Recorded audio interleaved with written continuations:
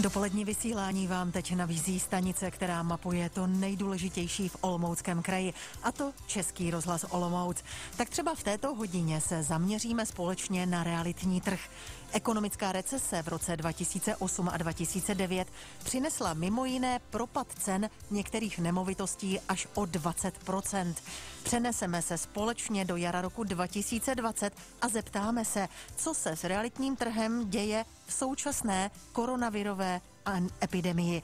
Zastavil se prodej a nákup realit, vyplatí se s nimi počkat, jak se hýbou ceny tady u nás přímo v Olomouckém kraji. Spousta otázek a vy máte šanci přidat další. Máte totiž jedinečnou možnost v Dobré radě Českého rozhlasu Olomouc, kdy bude naším hostem ředitel Hanácké realitní kanceláře Petr Koritar. Tak dobrý poslech a těšíme se na vaše otázky. U mikrofonu je teď Dita Vojnarová.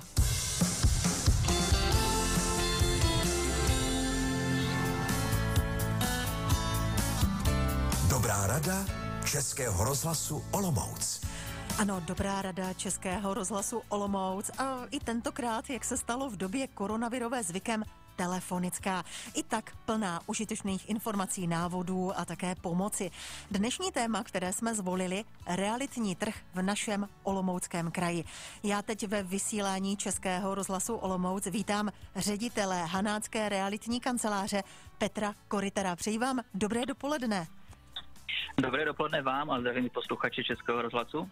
Eh, na pár týdnů se chod téměř všeho v České republice zpomalil, mnohde dokonce zastavil. Každopádně určitě změnil. Jak zasáhla koronavirová epidemie váš obor, tedy reality? Tak v počátku těch eh, karanténních opatření se ten realitní trh opravdu zastavil takřka na 100%. Lidé řešili spoustu jiných svých starostí a v těch prvních 14 dní byl opravdu minimální zájem jak o prodej, tak o pronájem nemovitostí, ale potom se to postupně začalo zlepšovat a řekl bych, že po velikonočních prázdninách se to už docela vrací takřka do normálního stavu před tou koronavirovou krizí. Eh, a daleko víc než eh, koronavirová krize nás spíše postihly prohlášení paní ministrině financí, která navrhla zrušení daně z nabití nemovitostí a neustále to odkládala, takže to nás trošičku trápilo daleko víc.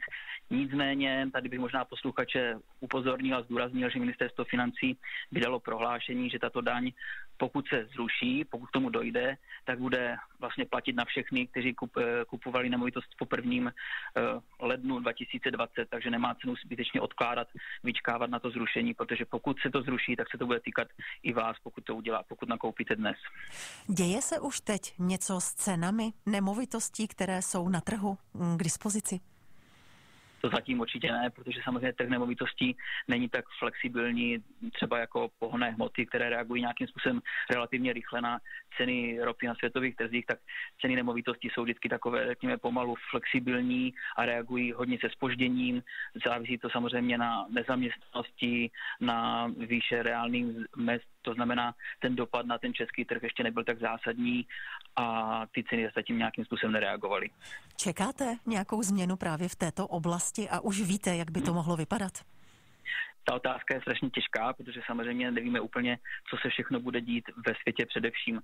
Pokud by to záviselo jenom na té české ekonomice a na situaci v České republice, tak si myslím, že ten dopad by nebyl nějak dramatický, protože ta Česká republika, jak tu zdravotní stránku, tak tu ekonomickou si myslím, že by zvládla docela dobře, ale my jsme ekonomika závislá na vývozu, na exportu především do Německa a do Evropy a strašně bude záviset, jak si s tím poradí Evropa, eh, dluhem zasažená Itálie a samozřejmě i tou koronavirovou krizí. A to se to, co všechno pak může na ten trh mít dopad, ale ten dopad, pokud přijde, tak do, přijde až nějakým, řekněme, půlročním, uh, půlročním odložením, protože ten trh nemovitostí opravdu je málo flexibilní a nejdřív to musí dopadnout na ten automobilový trh, musí se začít oslabovat ekonomika, teprve pak na to budou reagovat nějakým způsobem nemovitostí, pokud k tomu dojde. Na druhou stranu už Česká národní banka udělala nějaké protikroky ve smyslu zmírnění požadavku na vlastní kapitál, to znamená na vlastní finance při koupi nemovitostí, která tomu do značné míry může pomoct a i úrokové sazby snížila, které zase uh, udělají to, to financování těch nemovitostí dostupnějším.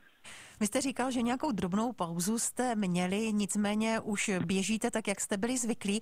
Jakým mhm. způsobem třeba uh, dochází k prohlídkám těch jednotlivých nemovitostí, když si vlastně máme udržovat určitý odstup a dodržovat uh, bezpečnostní opatření? Hmm Přiznám se, že v dnešní době v této současné situaci už ty prohlídky jsou takřka v normálním stavu. V fyzickém kontaktu, samozřejmě při nějakých regulích, které jsou požadovány, to znamená s rouškou, s ochrannými prostředkami a nesnaží se naši makléři dodržovat nějakou vzdálenost, ale nějakým způsobem nás už to nějak zásadně nelimituje. V těch prvních fázích té, té karantény samozřejmě se vůbec jako kdyby na prohlídky nechodilo a buď jsme klientům poslali nějaký náhled video, prohlídky, fotky a komunikovali jsme na dálku online. Říká ředitel Hanácké realitní kanceláře Petr Kuritar, který je dnes hostem Dobré rady Českého rozhlasu Olomouc. Já už jsem, pane Kuritare, tady mluvila v samotném úvodu, že pokud si vzpomeneme na ekonomickou recesi eh, v roce 2008-2009, tak si určitě pamatujeme také na výrazné zlevnění nemovitostí. Některé padly dokonce až o 20%, ale opravdu některé. Myslíte si, že ta cena i v roce 2020 může může jít až takto dolů? To bude samozřejmě záviset na celkové ekonomické výkonnosti naší ekonomiky a jak jsem už řekl před především vstupu i Evropy. Strašně to záleží na segmentu toho trhu. E, například stavební pozemky, to je segment, který se jakoukoliv krizi podle mě nezasáhne vůbec. Stavebních pozemků v Olomouci a v jeho blízkém okolí je minimální dostatek, takže tento segment třeba vůbec nebude zasažen. I v případě nějaké dramatické krize ty prodávající majitele těchto pozemků si je radši nechají a nebudou prodávat. Takže třeba tento segment si myslím, že nebude zasažen vůbec. Eh, u rodinných domů. Eh, tam ta nabídka taky není nějaká velká v rámci Olomouce, takže tam už bude záviset opravdu na jednotlivých kusech. A nejvíce zasažený mohou být samozřejmě byty, protože tak, jak byty v roce od roku 2013 dramaticky rostly jejich ceny nahoru, tak také ty jsou tím pádem nejvíce ohroženy v případě nějakého propadu cen nemovitostí. A nejvíce zasaženou skupinou pak samozřejmě můžou být i novostavby, které opravdu atakovaly eh, v předešlých letech nebo ještě stále atakují hranice, které ještě před pěti, šesti lety byly takřka nepředstavitelné. Eh, jak jsme na tom v porovnání s zbytkem republiky, co se týče cen eh, nemovitostí tady u nás? Eh, já si myslím, že ty ceny nemovitostí jsou uměrné velikosti našeho města významu toho našeho města. Jsme někde na čtvrté pozici, protože Ostrava jako větší město má svá specifika, řek nějakou výšší mest a tak dále. To znamená, jsme na nějakém čtvrtém místě v rámci celorepublikového srovnání. To odpovídá té velikosti významu Olomouce. Olomouc je důležité univerzitní město, takže veškerý ten trh pro nájmu žije díky studentům, kterých je tady opravdu velká míra a řekl bych, že studenti už trošku upouští od takového toho kolejního bydlení a přesouvají se do toho soukromých e, pronájmů, takže ten trh tady opravdu, ten pronájemní trh je tady opravdu živý ví a tím pádem to samozřejmě ovlivňuje i tu, tu poptávku po eh, koupi nemovitosti jako investičního instrumentu. Pro naši představu, jak se pohybují ceny právě těch pronájmu a koupy eh, bytů a případně domů? Uh, tak opravdu za posledních pět let vyrostly hlavně ty koupě opravdu značně, řekněme, u některých segmentů, třeba u panelových bytů skoro až jednou tolik oproti pěti, šestiletému srovnání. U těch nájmů ten nárůst nebyl tak, tak zásadní a řekněme, ten rostl menším tempem, ale také nájmy výrazně vyrostly a e, v podstatě atakují nějaký vrchol svý cenový. Hmm. Hodně se psalo o tom, že jako první se na ráně v rámci koronavirové epidemie ocitly krátkodobě pro najímané byty. Eh, ty jsou prázdné v současné době, ještě to třeba nějakou dobu potrvá, než se zaplní. Týká se to i našeho kraje, potažmo Olomouce? Mm-hmm. Toto je problém především Prahy, kde ten trh krátkodobého bydlení, který se pronají, ty byty, které se pronají opravdu turistům, zahraničním návštěvníkům na krátkodobý týdenní, denní pronájem, tak to se Olomouce zásadně netýká, protože já jsem si dělal nějakou menší statistiku, takže na začátku roku 2020 bylo v rámci Olomouce nějakých až 30 nabídek eh, tímto režimem, což je na Olomouc 100 tisícové město mm, marginální počet. To znamená, tenhle výpadek nás v žádném případě nějakým způsobem neochromí. Mm-hmm. Máme tady první posluchačský dotaz na čísle 723 70 33 51. Dobrý den, sledují uh, ceny realit, ty jdou neustále hodně nahoru. Uh, čím to může končit? Mám pocit, že už jsou to dneska mnohdy sumy, na které normální člověk nemůže dosáhnout. Píše naše posluchačka z Olomouce. Co si o tom myslíte? Takže děkuji za dotaz. Uh opravdu má paní pravdu, že ty ceny rostou někdy opravdu výrazným tempem až nezdravě. Je to dáno tím, že ta předchozí krize v roce 2009, kdy končila, nebo 2010, udělala to, že tu naší společnost celkem rozdělila na takové dvě skupiny, na skupiny, které jsou opravdu vázáni na hypotéku nebo vůbec na to, aby se na nemovitost dostali a mají problém s tím na nemovitost dosáhnout. A naopak druhou skupinu, která je sice menší, ale má jakýsi objem peněz, jsou to různí podnikatelé, řekněme doktoři, advokáti, kteří mají kapitál a neví, jak si s ním poradit, takže jako nejčastější volbu právě řešili investici do nemovitostí a to ty nemovitosti hnalo dopředu.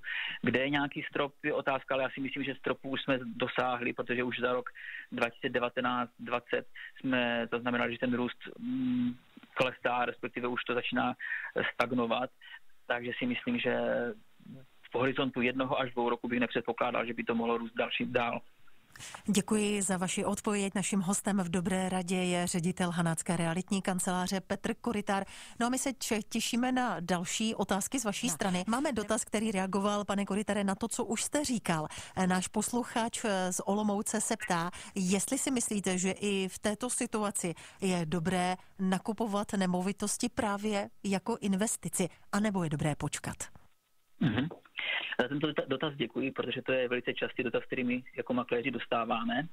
Eh, a pravdu se přiznal, já neznám člověka, který by litoval investice do nemovitostí. I ten, který koupil nemovitost, řekněme v roce 2008, těsně před tou předchozí krizí, eh, tak sice pár let měl určitý pokles té hodnoty té nemovitosti, ale v kontextu dnešní době, to znamená po nějakých 10-11 letech, už ta jeho ta cena stejně přesáhla tu jeho pořizovací hodnotu. V podstatě po celou tu dobu toho vlastnictví té nemovitosti inkasoval nějaký nájem, takže i tento člověk, který kupoval sice na vrcholu předchozí, předchozí krize, toho nemohl litovat. Takže obecně si myslím, že ten, ta investice do nemovitostí nikdy není e, špatná investice, ale samozřejmě člověk se musí ke každé té investici trošičku podívat hlouběji, e, nesmí kupovat bezmyšlenkovitě, Neznamená to, že říkám, ano, kupujte nemovitosti, že teď půjde, půjde a koupí první byt v developerském projektu. Myslím, že zrovna tato situace mu dává jakési možnosti se, řekněme, i smlouvat i třeba s tím developerem o nějaké ceně. No a e, takže z dlouhodobého hlediska určitě cena investice do nemovitostí se vyplatí protože vám je to, je to, jakýsi, je to jakási ochrana proti inflaci, protože pokud přijde jakákoliv ekonomická krize a vy budete mít peníze zainvestované v nemovitosti, tak to z dlouhodobého hlediska vám to pokrývá, eh, pokrývá minimálně tu inflaci. Chrání vás to před poklesem hodnoty toho vašeho, vašich financí. Co je ještě důležité zdůraznit, samozřejmě rozdíl, pokud člověk kupuje nemovitost z vlastních hotových prostředků, to zase není tak častá situace, anebo to financuje nějakým způsobem hypotékou. Tady bych zdůraznil, aby eh, každý klient, nebo který uvažuje o investici eh, do nemovitosti, hodně zvažoval ten poměr eh, ceny té hypotéky, kterou bude měsíčně splatit, platit a toho měsíčního nájmu, který ta nemovitost mu bude generovat. Měl by tam mít určitý polštář a prostor na to, když mu, řekněme, vypadne nájemník nebo nějakým způsobem ta nemovitost chvíli nebude obsazena.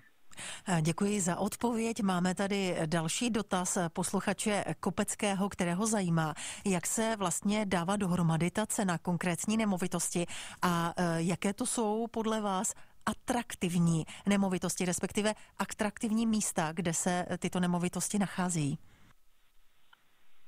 Tak, jak se dává cena nemovitostí, to nemovit, cenu nemovitostí, tak jako každého jiného artiklu, vždycky určuje nabídka nebo střed poptávky s nabídkou. Za posledních 5-6 let poptávka po nemovitostech výrazně rostla, převyšovala tu nabídku, to znamená i ceny nemovitostí rostly a pak už je vždycky na každém odborníkovi, jestli tu cenu v tom aktuální situaci umí správně určit. Je to o tom, aby ten odborník nebo ten makléř, který se na tom realitním trhu pohybuje, měl tu znalost, tu zkušenost aktuální situace a uměl to správně posoudit. O to ten realitní makléř je to jedna z nejdůležitějších eh, podle mě úkolů toho realitního makléře. A ta druhá část byla, jak, jak je, která je atraktivní, ano. to byla druhá část. Ano, ano, ano. Eh, to se záleží v rámci, jestli teda se to bavíme v kontextu těch investic, jakým způsobem ten investor uvažuje. Pokud je to o tom, že chce opravdu jenom uložit peníze, který má, řekněme, nějaký větší dostatek a neví kam s nimi, tak zajímavou investicí můžou být prostě investiční stavební pozemky, protože ty si ty si svou cenu vždycky drží a minimálně o tu inflaci porostou. Ale samozřejmě takové stavební pozemky se negenerují ten výnos z toho pronájmu z pravidla, proto většinou takoví ti standardní klasičtí investoři eh, koukají po bytech, kde ten výnos nějakým způsobem plyne každý měsíc. Eh, rezervační poplatek zajímá eh, naši posluchačku, která píše z Olomouce, eh, jaké je jeho výše a v jakých příležitostech ho může dostat zpět, protože ona právě uvažuje o koupi nového bytu tak výše rezervačního poplatku není žádným zákonem ani pravidlem stanovena. V podstatě je to vždycky na prodávajícím, po případě realitní kanceláři, makléři, jak je nastaven. Měla by být taková, aby pro toho kupujícího, který si rezervuje tu nemovitost, byla závazná, no, aby to nebyla nějaká v ozovkách bezvýznamná částka v poměru k té ceně nemovitosti. Standardně to řekněme nějakých 5% ceny nemovitosti plus minus. No a jestli lze dostat zpět, tak to záleží na smlouvě, na základě kterou ta kupující uh, tu nemovitost rezervovala a zálohovala. To těžko posoudit tady takhle přes telefon. To opravdu je na, na tom konkrétním smluvním vztahu. Děkuji za odpověď naším hostem Dobré rady Českého rozhlasu Olomouc, která i tentokrát vzhledem k opatřením bezpečnostním, která máme v České republice, probíhá telefonicky, je Petr Koritár, realitní makléř. No a pokračovat budeme samozřejmě po písničce. Českého rozhlasu Olomouc vám právě teď pět minut po půl jedenácté nabízíme dobrou radu. Bavíme se o realitním trhu, o tom, co se na něm děje právě teď v době, kdy máme koronavirovou epidemii. Vy se zapojujete do našeho povídání s ředitelem Hanácké realitní kanceláře Petrem Koritarem, který je naším hostem na telefonu. Eh, píšete na SMS-kové číslo 723 70 33 51 a taky nám můžete zavolat na linku 221 555 444. Uslyšíme vás opravdu všichni. No a velmi zajímavý dotaz, eh, pane makléři, od našeho posluchače tady z Olomouce. Eh, zajímá ho, jestli přibývají malé byty, kterých má pocit, že je v Olomouci málo a že jsou tedy hodně, hodně drahé. Mm-hmm. Tak, začnu tedy od konce. E, malé byty většinou z pravidla mají tu nejvyšší cenu za metr čtvereční, to znamená opravdu ty ceny jejich nejsou, nejsou nízké a ta vysoká hodnota těchto bytů je dána právě tou malou nabídkou, takže odpovídám i na první část otázky. Malých bytů, takových těch investičních, není, není velká e, míra, hlavně pokud, pokud se podíváme do té starší zástavby, do, do developerských projektech ještě dejme tomu ano, ale v té starší zástavbě jich není moc na výběr a bohužel proto ta cena nemůj, této nemovitosti je taková, jaká je. A tam není šance, že by se hlo, prostě to tak zůstane. Šance je vždycky samozřejmě, pokud k nějakému dramatickému poklesu cen nemovitosti, tak se to začne i malých bytů. To, určitě ano. Jak jsem už říkal v předešlé části, jedinou neohroženou eh, komoditou jsou stavební pozemky. Mm-hmm. Dotaz, který eh, s tím možná souvisí. Dobrý den, v Olomouci se hodně staví a často jezdívám v lokalitě okolo Šantovky, kde to roste jako z vody, takže spousta nových bytů. Proto mě zajímá, proč jsou tak vysoké ceny i ve staré zástavbě, notabene co se týče panelových domů, píše posluchač Petr z Olomouce. Hm. Tak je to dáno tím, že eh, investic do bytů v novostavbách, o kterých vy mluvíte, které rostou, eh, tak to si nemůže dovolit každý, protože při dnešní nebo ještě v dobách před tou koronavirovou krizi platilo, že každý kupující musel mít minimálně 20% vlastního kapitálu, což při těch vysokých cenách nemovitostí vůbec nebyly zanedbatelné částky, to už je částka třeba okolo milionu korun a to si opravdu nemůže dovolit každý, proto většinou e, tím pádem musí přejít, pokud se bydlet ve vlastním, tak musí přejít do té starší zástavby, která je furt levnější než ty novostavby. Jinými slovy, ty ceny starší zástavby, jak my říkáme second-handové, ať už cihlové nebo bytové, kopírují ty ceny e, novostaveb, jsou řekněme o nějakých 10 tisíc korun za metr čtvereční levnější a tím, jak rostly ceny novostaveb, tak samozřejmě rovnoměrně rostly ceny i starších bytových jednotek. Eh, další eh, posluchačský dotaz, který tady máme, proč využívat služby realitních kanceláří? Dneska je také běžné, eh, že si lidé reality prodávají přímo a nemusí platit žádné poplatky a vyjde je to mnohem levněji. Podepsán Jirka. Co byste mhm. řekl vy jako realitní makléř? Jasný. Na první pohled se to opravdu tak může zdát, že vlastně jako ušetří klient provizi a bude na tom líp, ale myslím si, že pokud nejste opravdu odborník, který se třeba touto oblastí zabýval dříve nebo v tom neumí chodit, tak to není tak, jak, tak úplně pravda, protože dobrá realitní kancelář z pravidla vám tu nemovitost dokáže prodat díky svým marketingovým nástrojům, schopnostem, kontaktům v řádu o 5 až 10% dráž, než byste si to dokázali sami, to znamená daleko více, než nám zaplatíte na provizi, takže v podstatě budete spíš, když ne na stejném, tak i někdy častokrát v plusu eh, při využití realitní kanceláře a samozřejmě vám ochráníme veškeré rizika a starosti spojené s tím prodejem nemovitosti a těch opravdu není málo. Eh, investice nebo prodej nemovitostí, to je vlastně Eh, operace častokrát u většiny klientů s veškerým jejich majetkem, takže to není žádná legrace a mělo by se to opravdu veškeré ty rizika pohlídat a ušetří je tím spoustu práce, nemluvě o prohlídkách, veškerých marketingových činností spojených s tou nemovitostí. Takže když to nějak zhrnu, ušetříme vám čas a ušetříme i peníze, protože tu nemovitost prodáme dráž, než byste to dokázal sám. Dana Ptošková píše, zajímá se o to, proč v inzerátech, které najde třeba na internetu, není vždy uvedena provize realitní kanceláře a jestli ta provize je jasně daná, nebo to má každá kancelář jinak. Tak, každá kancelář samozřejmě, samozřejmě provizi může mít stanovenou jinak. E, to, jestli už, da, jestli už umístí tu výši té provize na internet do inzerátu, to mi neovlivňuje, to je na každém tom makléři. E, nicméně realitní zákon, který je platný, e, řekněme, od 3. března letošního roku, již teď zase nějaká novela s odkladem, ale každopádně žádná realitní kancelář by si neměla dle zákona brát provizi z obou stran, vždycky pouze z jedné strany a pak už je to na tom makléři, jak e, tu provizi si s tím daným prodávajícím nastaví.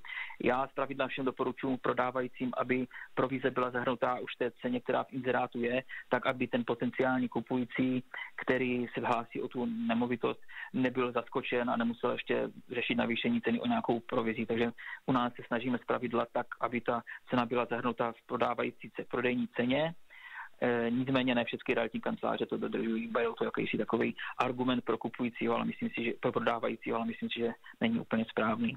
Tak a máme tady první vo, prvního volajícího posluchače do Českého rozhlasu Olomouc. Zdravíme vás, dobrý den.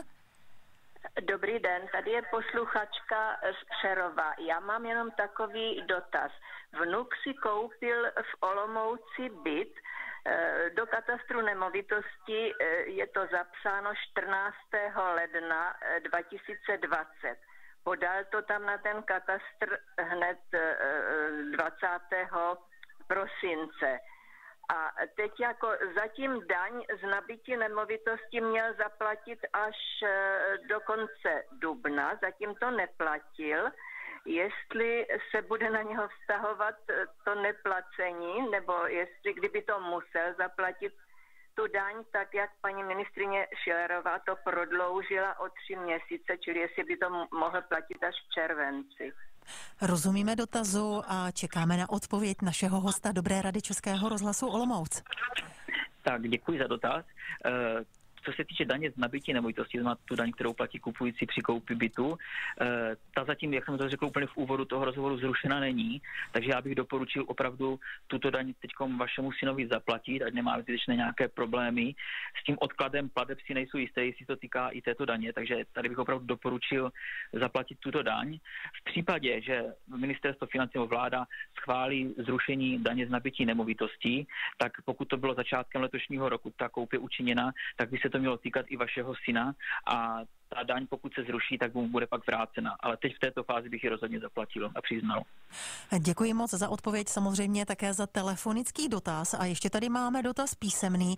Dobrý den, existují dnes vůbec ještě výměny bytů, potažmo výměny mezi různými městy? Máte s tím nějakou zkušenost? Výměny bytů to už nefunguje delší dobu, ale to se bavíme řádově 10 let minimálně. To je dneska tak strašně obtížné najít konkrétního kupující, kupujícího a prodávajícího, které mají, řekněme, ty byty, které jim se na, vzájemně hodí, takže, nebo ať už jsou to samozřejmě osoby soukromé nebo, nebo obce, tak jak zmiňuje tady ten tazatel, takže toto už řekněme dlouhou dobu takřka vůbec nefunguje. Tak a poslední dotaz dnešní eh, dobré rady. Dobrý den, zajímalo by mě, jak by to správně mělo fungovat v praxi. Prodávali jsme dům, oslovili jsme realitní kancelář, která nám nabídla své služby, ale eh, chtěla, abychom s ní podepsali exkluzivní smlouvu, aby byla jediná, která může právě náš dům nabízet. To se nám úplně nezdálo, protože sledujeme inzeráty a vidíme, že nemovitosti mají v nabídce eh, různé realitní kanceláře. Jak to tedy je? Ptá se náš posluchač ze Šumperka. Mm-hmm. Takže povinnost podepsat exkluzivní smlouvu samozřejmě nemáte, ale já upřímně to doporučuji. Doporučuji vybrat si opravdu makléře a kancelář, které budete věřit, kterou, na kterou máte dobrou referenci a s touto kancelářím, s tímto makléřem pak tu exkluzivní, exkluzivní smlouvu podepsat, protože makléř, který nemá tu exkluzivní smlouvu podepsanou, z pravidla neinvestuje své vlastní prostředky eh, do marketingu, propagace té nemovitosti, tak aby vám ji dokázal opravdu prodat za co nejvyšší maximální cenu a užitek pro vás. Takže doporučuji tu exkluzivní eh, smlouvu podepsat, ale dobře si vybrat to, s kým, s kým podepisujete. Dle nového, realitní zákon, nového realitního zákona ta exkluzivita je omezena maximálně na 6 měsíců, takže po 6 měsících jste stejně jako by volní ze zákona, eh, pokud to sami nebudete chtít prodloužit tu smlouvu. Takže a hlavně ještě důležitý argument, eh, pokud tu nemovitost dáte více realitním kancelářím, eh, nepomůžete si tím. Ono se na těch realitních portálech objeví dvakrát, třikrát a ten nemovitosti to naopak dělá medvědí službu, protože klienti, potenciální zájemci už v tom vidí jakousi spekulaci, předspekulují, že zřejmě prodávající nemůže tu nemovitost prodat, tak to rozhodil mezi více kanceláří a pak spíš je to na pro ně argument nějakou, nějaké slevě. Tak děkuji moc za poslední odpověď v dnešní Dobré radě Českého rozhlasu Olomouc. Naším hostem byl ředitel Hanácké realitní kanceláře Petr Korital, Koritar. Eh, moc vás zdravíme, děkujeme za telefonické spojení, které fungovalo velmi dobře. Děkujeme za vaše odpovědi a budeme se těšit už tady, doufám, přímo ve studiu na Horním náměstí 21 někdy příště. Naschledanou. Mm-hmm. Děkuji za pozvání a naschledanou. No a my vám samozřejmě moc děkujeme za dotazy, které jste především dnes tedy posílali. No a samozřejmě program Českého rozhlasu Olomouc pokračuje i nadále.